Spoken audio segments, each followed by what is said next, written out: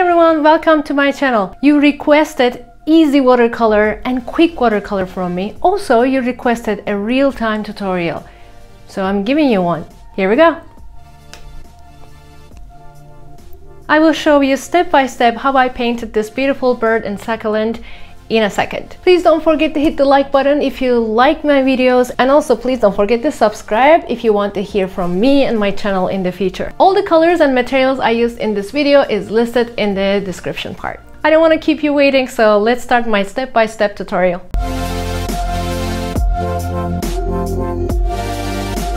First, we will do the wet on wet method. This is why I'm applying a layer of water here. How much water is too much if you ask? There shouldn't be any pool of the water, but the surface needs to be shiny.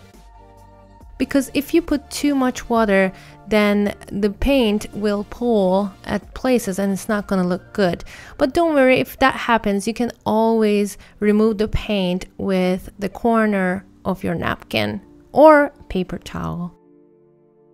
I use my violet color here. You can choose whatever you can mix red and blue and depending on how much red or blue you want in it, you can determine your own color. That's the beauty of watercolor. Because my paper is already wet, whenever I touch, you can see that the paint is spreading beautifully into the other paint and here I am using orange. I use the bright orange color. But you can also use colors like raw sienna or you can add a little bit more yellow tone to it. Again you have the power.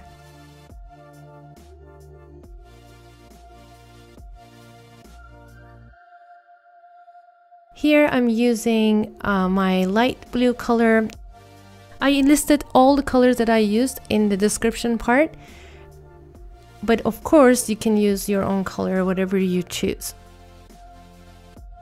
If you look at this painting, you see that this orange color looks very nice with blue together.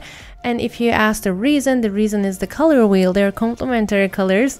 If you haven't watched my previous video where I explained the color wheel in detail and how to choose your colors in watercolor, I'm putting it in the top right corner.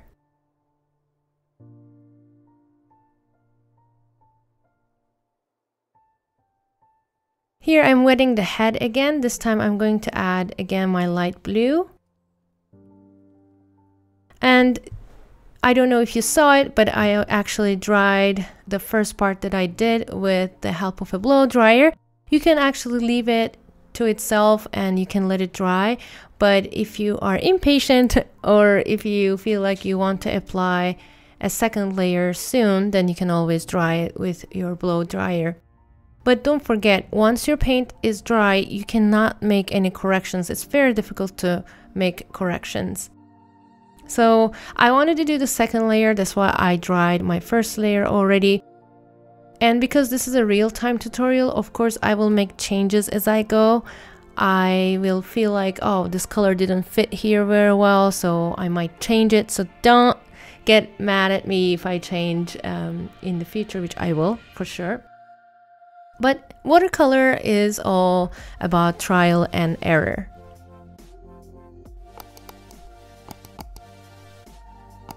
I'm using my number 5 brush here, but you can use whatever brush you feel like. For the smaller areas, of course, we need um, number 2, number 3 brushes for the middle areas. If you want to get more details, of course, you need a more fine, a finer point.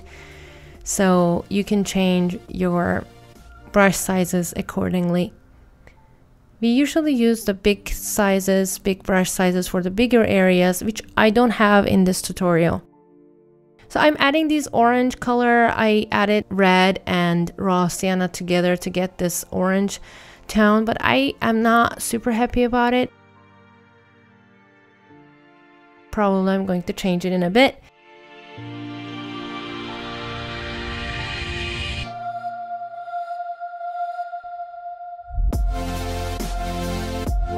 Here, the wing part, I wanted to make it red. Red really changes the whole picture.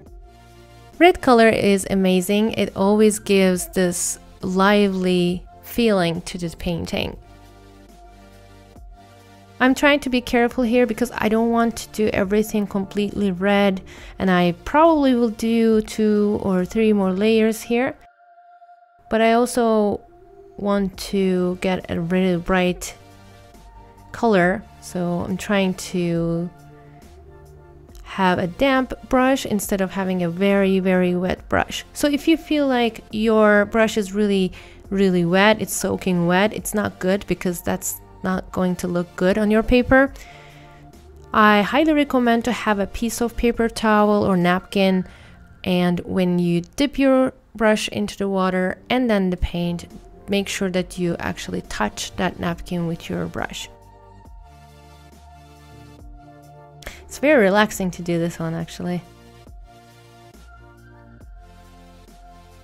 Also, if you haven't watched my video about watercolor basics before, I give 25 tips for the watercolor beginners. I'm putting it in the upper right corner for you. It actually explains all the techniques that I'm using here in detail. Please make sure that you have two glasses of water each time because you dip your brush into the first one first and then you rinse it in the second one. It really really works well that way.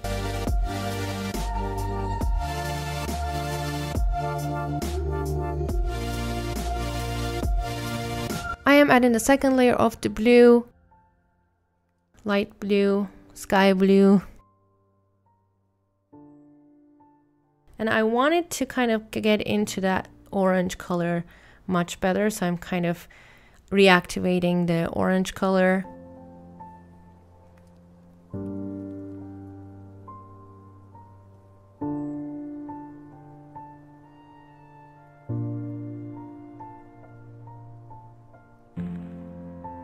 And of course I'm adding a little bit more blue on the top, on the head. You see that how this red looks. I don't really like how it looks. It just kind of spread really badly. Uh, as I said before, it's all trial and error. So you can see as long as your paint is wet, you can go back and pick up that paint with help of your with the help of your napkin.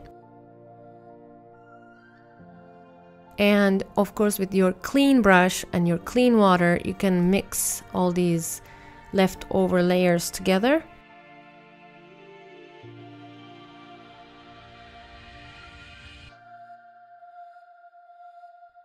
And I'm gonna add a little bit more blue or violety colors back here. But this looks too dark for me because of the red layer already underneath. Uh, so probably I'm going to make some patches with my napkin to make it look lighter.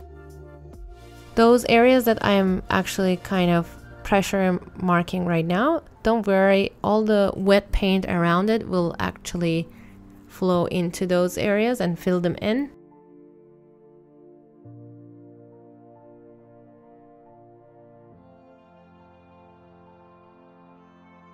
It's already filled in, you can see.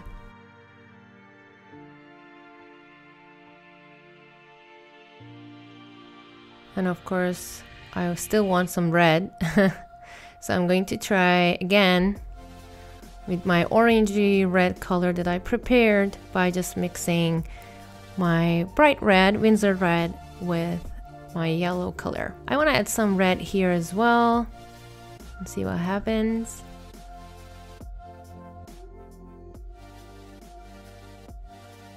I want a slightly orangey tone here and a little bit dots of blue I mean, I don't even know a bird exists like this, but of course, we create our own, right? That's the power of creativity.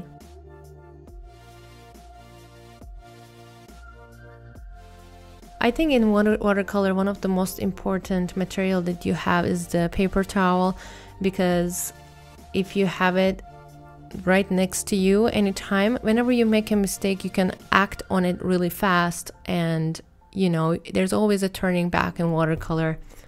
Almost always, let's say 98%. So I did the second layer of the wing. Again, I used red, but this time I added more paint instead of more water. And now I have some yellowish orange tone.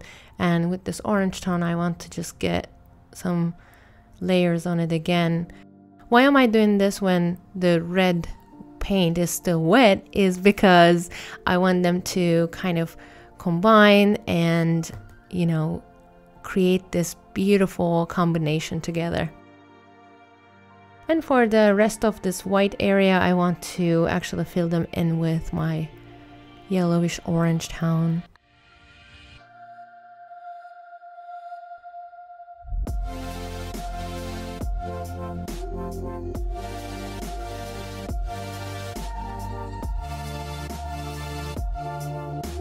Here again, I just want to make sure that this color kind of matches with the wing.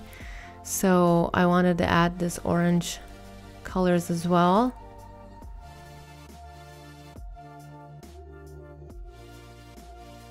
Some colors bleed in each other very nicely, some colors won't. So again, you have to do trial and error for this. I'm gonna start, while that's drying, I'm going to start my flowers and the branch. Here I'm using olive green and with olive green I'm going to do some of the leaves. That was too much water for me so I kind of picked it up with my napkin. And while I am using my small brush, I'm just making sure that I am having these leaf shapes nicely.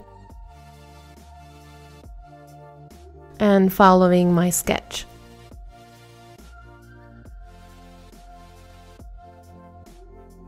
In watercolor sketch, I use my graphite pencil, usually HB, and I'm trying not to put any pressure on the paper because you don't want your pencils to show underneath. But I didn't erase them either, so because I think this was a very good sketch for me, I didn't have to erase it, it wasn't too dark.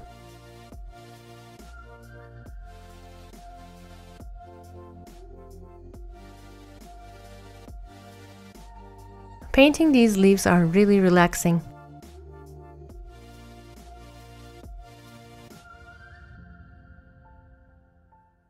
Now I'm going to use this ochre color, ochre, it's like brownish orange tone.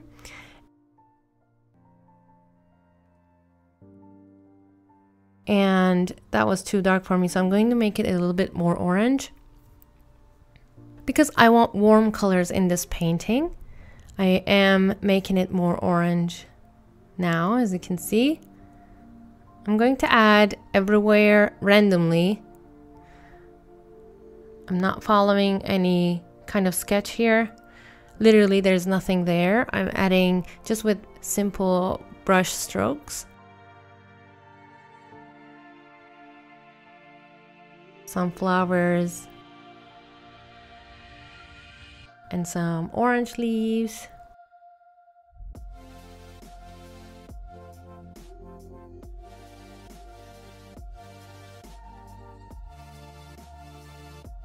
And if you watch what I'm doing, it's usually I am putting more pressure at the bottom of the object and then while I'm going up, let's say it's the leaves, um, I am actually putting less and less pressure on my brush and I'm just gently removing my brush from the paper so that it leaves this really nice from thicker to thinner effect. Here again, just with basic brush strokes, I added some flowers there. I'm using the same light color, light blue color that I used for the bird. And I had forgotten bird's tail, so I added that and now in my blue, I added just a little bit of red. So I have some violetish blue color right now. I am putting it like almost actually purple. Yeah, my purple color right now. And I'm just adding again randomly everywhere. So you see the cauliflower effect right now in the body of this little bird. In order to remove that cauliflower effect, you can do this. I have my watercolor pen, but you can actually use any kind of brush. I am going over with clean water around those borders and trying to blend those colors in.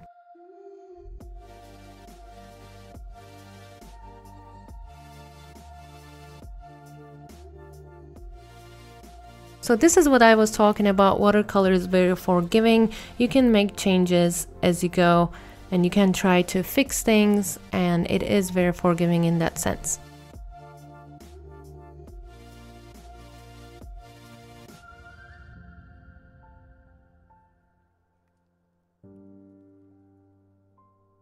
I have a really nice mix of colors there. I know it looks like many, many colors exist at the same time, but I actually really love it. Again, depending on your taste, you can choose any color you want. And actually, you can look at the color wheel and see all these complementary colors and choose them accordingly. That will make even your painting pop more.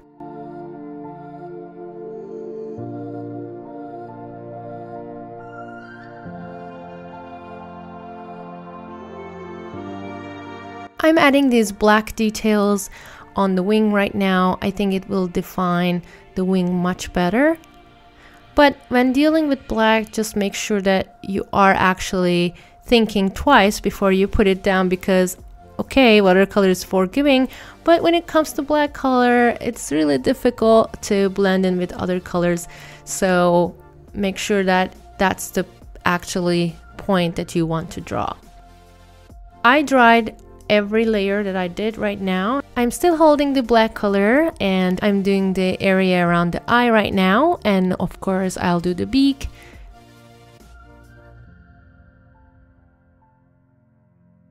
We will do many layers here. One black layer is never enough.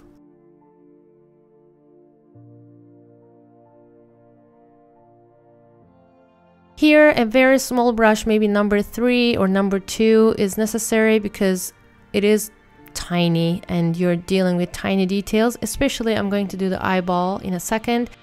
For those, you know, you need to have a very fine point with your brush. Unless you're a very professional watercolor artist, which actually they can use very big brushes and they are fine points. I am not there yet, so with the black I have on my brush, I also wanted to do the branch because I want to mix blue and black there. And this is my dark blue color. I really like this blue. And why I didn't add the eyeball yet is because I want that black area to dry first and then I will go in and add the eye detail because otherwise it might kind of leak in each other uh, and I don't want that. So here with the branch I have all these details with black but the background I wanted to do dark blue. Yeah, all the branch details I did with black, but it wasn't pure black you know, I added some water into it, so I kind of um, toned it down.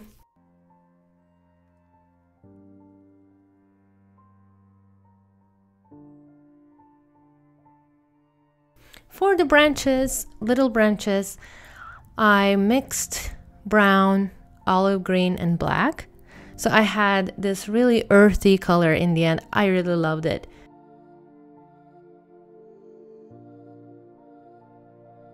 With very tiny brush strokes. Almost I'm barely touching the paper. I can get this thin branch details. In order to get this thin branch details you need to barely touch the paper and just follow the direction of the branch. And when you come to the end of this branch you just lift your brush gently so it gives this really nice effect our painting is finally coming to its beautiful shape. I can see it's gonna be beautiful. Of course, we're gonna add more flowers and more colors to it. I was unhappy with the chest of the bird, so I am adding white and I'm mixing white and light blue. I'm adding this very light blue tone right here and it looks much better this way. For me, I didn't want the chest of the bird be really, really dark.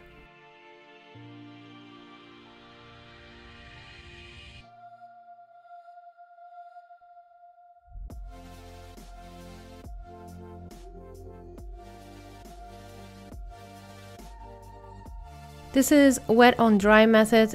What it means is like I have a dry surface and I'm going with my wet brush and I'm trying to get the color combination I want by just mixing the colors that I'm putting on the dry surface. Right now I'm doing the eyeball very carefully. You can see that I'm just barely touching the paper with my black color and trying to add those eye details.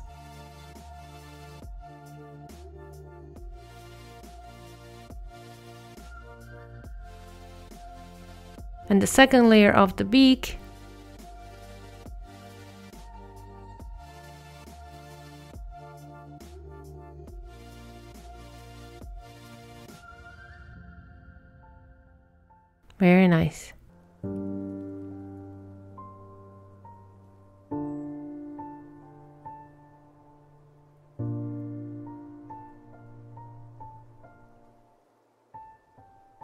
see that with the napkin, I tried to fix it, but with black color, it's difficult.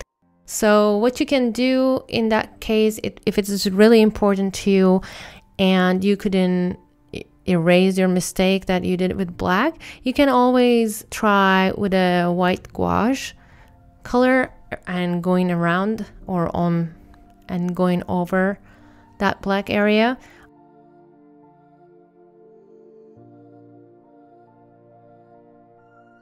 I'm putting my white gouache, but not to fix the black color. I just wanted to add some white there. So this is actually a gouache paint. Why gouache, you ask? Because usually we use white watercolor to tone down uh, other colors. We make it lighter, right?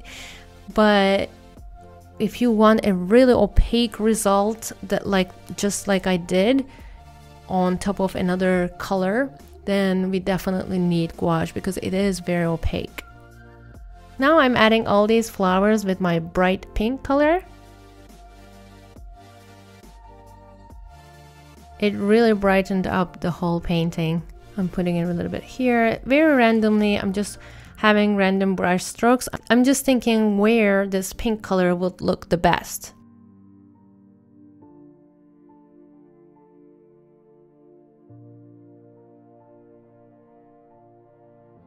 Pink is complementary colors with green, so next to green it's going to pop. I know that. So I'm trying to put where the green leaves are mostly. But you can actually put anywhere you want.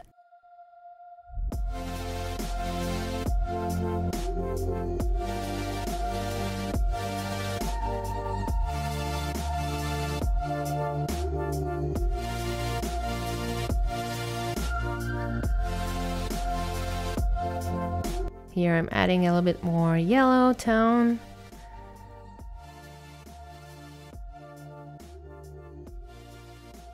Here too. And I think I will add bright yellow as well because I want this look to springy rather than fall looking. So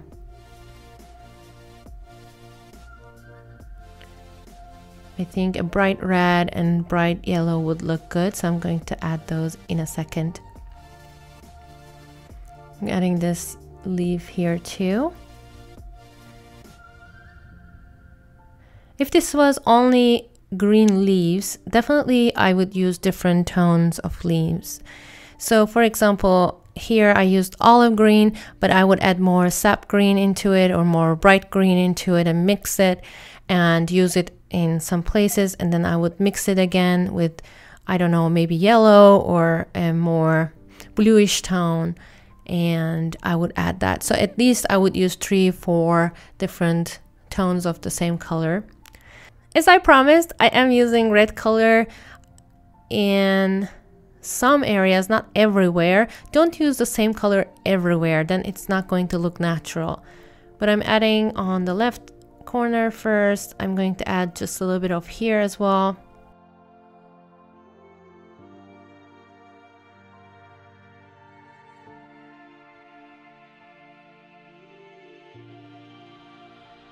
Here a little bit. See, on the top, I had a lot of paint in my brush, but as I go lower, you see that my paint kind of fades, which is still beautiful. I'm gonna keep that, but this shows how different tones you can get with the same brush strokes in your painting. Now the bright yellow time. I really like this yellow, the warm yellow. I'm going to add on these areas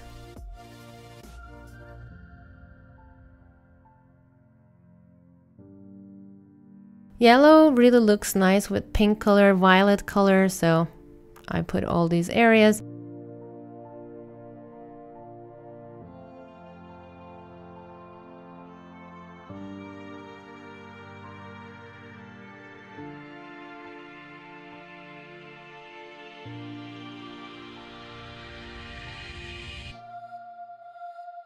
I am doing the final layer of the light blue for our bird because I really want it to look smoother.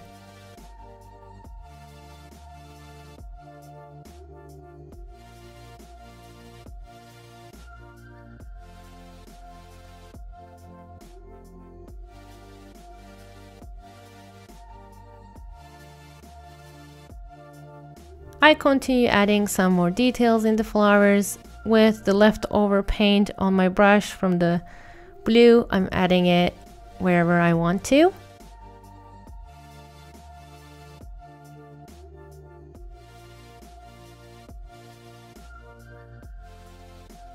I also add some here.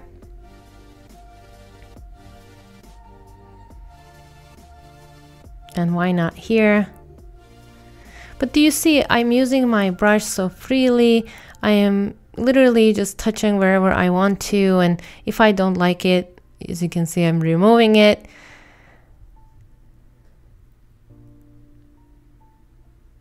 And I'm adding back more. If your painting is wet, please make sure that you don't touch it because if you touch with your hand, then you might ruin your painting. This is one of the reasons why we wait till the painting dries to add more details. Now I have my yellow still and I'm trying to add more colors to my leaves.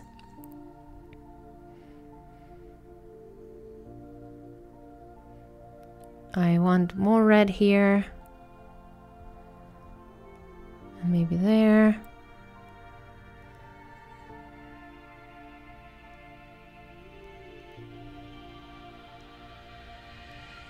Here. Watercolor is more dreamy for me. So I really like to play with it and create my own word in my painting. So feel free to do whatever you want to. So with dark blue and black mixture, I added the feet of the bird and also I added some details on the tail. Now it is time to go to the beak and add the final layer. For the beak, of course, I added much more black into my brush because I don't want it blue, but also I want it to have some blue hue.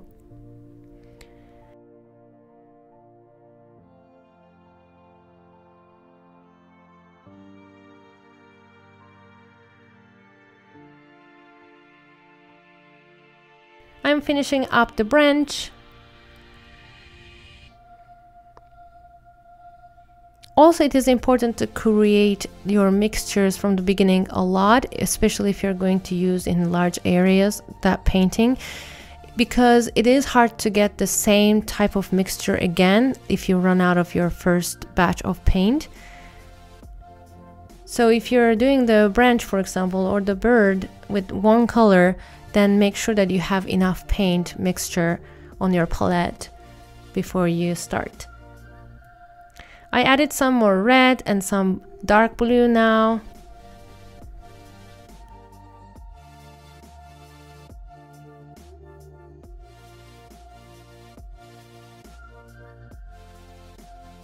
And finally some yellow, yellowish green. That was too much, too watery, so I'm just picking it up. See, you can prevent this by just drying your brush on a piece of napkin instead. It's finished now. We have our bird and beautiful flowers. Now the succulent came, but this is going to be a little bit fast forward. If you want the full-time tutorial of the succulent too, it is on my Patreon, patreon.com slash but I will explain to you anyway what I did there. I added a brown color for the pot and I mixed my bright green color with white gouache and I added all these leaf details like that. Afterwards, I had to make sure that they dried and I added a second layer of brown because the first layer was too bright. Once I made sure my painting is completely dry, I went in with my colored pencils and I added all these details with dark brown and the other tones of brown like orange brown and reddish brown. In order to do the leaves for this succulent, I added some purple at the very tip and I added dark green at the bottom where the shadows are and then I actually burnished them with my white colored pencil and for the below part I burnished them with my orange color pencil. I really hope you found this tutorial helpful. If you like my videos and if you think you learn a lot, please don't forget to subscribe so you can hear more about my channel. Every Tuesday and Thursday, I post a new tutorial for you. See you in my next video. Thanks a lot for watching this video. If you like my videos, please don't forget to subscribe and visit my website ecegurler.com. Stay with art